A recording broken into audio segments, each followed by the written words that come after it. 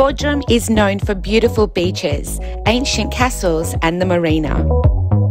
But today we'll take you on an alternative activity, one that's becoming increasingly popular in this region. So be ready and get your walking shoes on.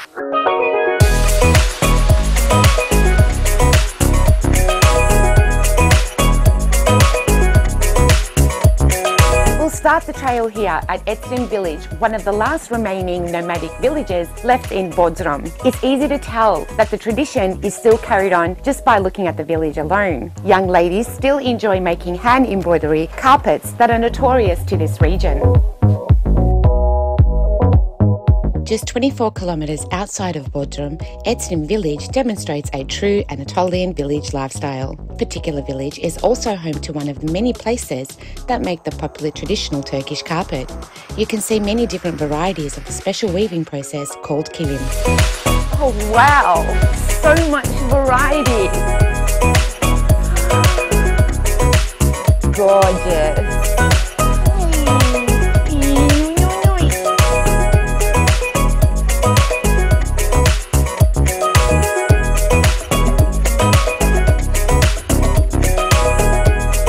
We've got a full road ahead of us today. So first things first, we're to start the day off with a full organic breakfast. Bodrum Peninsula's first ever hiking trail, the Leleg Yolu or Leleg Route, is an 88 kilometre hiking trail packed with the most interesting sights from history to art. Remains from ancient civilization can still be seen along the nature field trail. Hikers can also select the route depending on altitude levels, distance, and timing of their choice. I'm about 9 to 10 kilometers into the hike. Now I'm about to show you something that is truly magnificent. Follow me.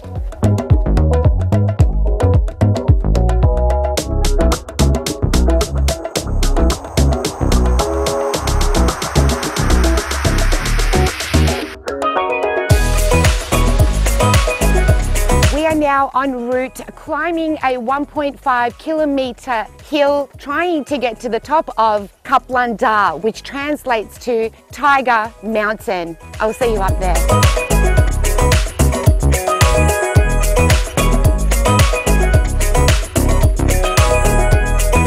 Seems we've got 330 metres to go via the side road to Kaplan Mağarası. Now I want to show you something very important. Along the tracks, you will notice signs like this. The red and the white is recognised globally and indicates that you need to keep following the route. The red and the yellow indicate that it's a side road where there's different uh, attractions for you to see. This also indicates that there's an exit at the end. So if you feel tired or there's an emergency, you can follow this road here. Quick pit stop, and I've decided to take my break at Yalıçiftlik, a small town in Bodrum that has an olive factory. I'm going to go inside now for some tasting.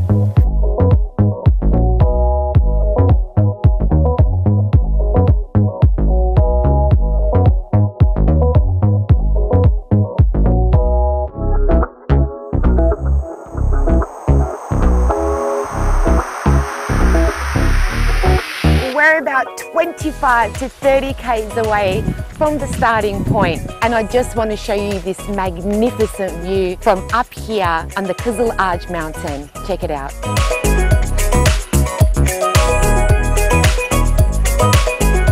We've just hit a crossroad between the Karya route and the Leleg route. If we decide to go straight towards the Karya route, we'll end up at the Bodrum city centre. However, we're going down the Leleg route. Let's keep going.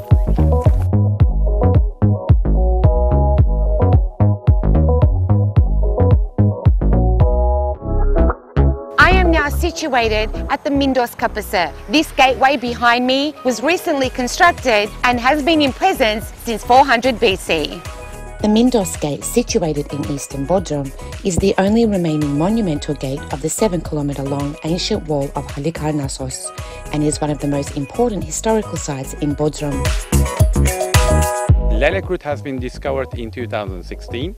Uh, it's actually the route as itself is not actually an ancient route. It's a man-made uh, route which has been designed by the architect of the uh, route. Uh, it covers uh, around 88 kilometers at the length, the main route, and with the side entrance is around 188 kilometers. It has eight Leleg uh, cities which were emptied later on to become uh.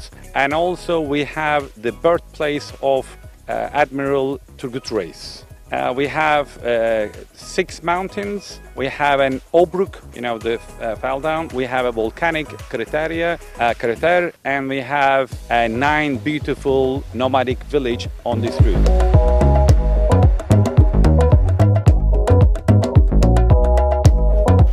In the ancient city of Pedasa sits Gebe Kilise, a dome-shaped tomb left from the Leleg civilization. This tomb has had zero modifications made to it and has naturally preserved itself from time.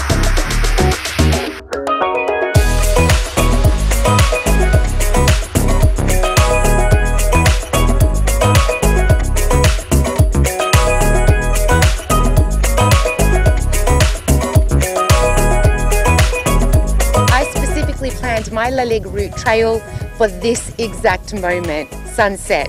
We've now reached the end of the Leleg route trail. If you're interested, get on board. It won't disappoint.